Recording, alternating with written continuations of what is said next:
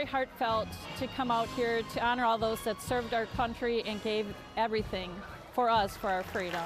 I just feel like my father is with me here and just thinking about him and remembering all the good times that we had.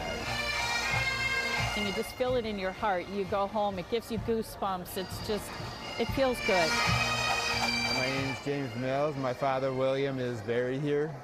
Uh, he wasn't, I mean, he didn't see active duty. He was in the Army. The feeling when you leave here, you get the whole feeling of everything that this day is about. Remember why we are free. Seeing everybody that's coming out here to support, especially with the weather like today. We stand in the rain because we stand for our fallen, and we're there to honor and remember them all no matter what the weather is. As they say, if it's not uh, raining, you're not training.